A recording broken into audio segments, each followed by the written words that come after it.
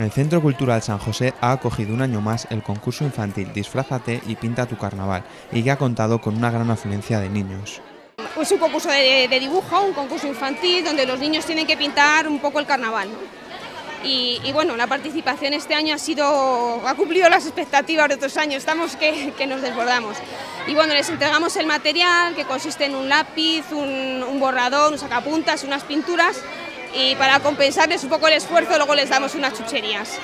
Casi 200 personas que han puesto a prueba su imaginación y han diseñado sus ilustraciones con lápices, ceras y rotuladores, con el carnaval como temática.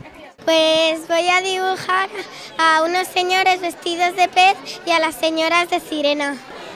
Estoy disfrazado de pirata y estoy dibujando un pirata navegando.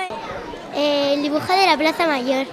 Pues vamos disfrazados de peces, de mochilas y de bolsos, de ratones, de muchas cosas.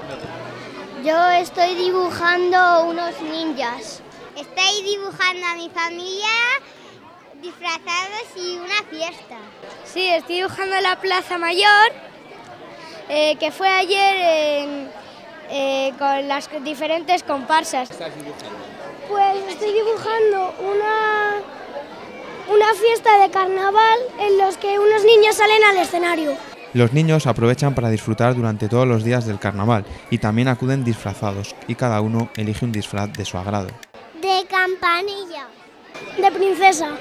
Me disfrazado de Gladys En este concurso podían participar niños y niñas de hasta 12 años y optaban a una serie de premios que se entregarán el domingo de piñata. Un poco, eh, sobre todo la originalidad y el, bueno, el tema te digo que al final es un poco sui generis, pero eh, la técnica también que utilizan y la imaginación sobre todo. He venido em, el año pasado y gané el premio. Los más pequeños disfrutan durante toda la mañana y como premio a su trabajo les entregan algunas recompensas.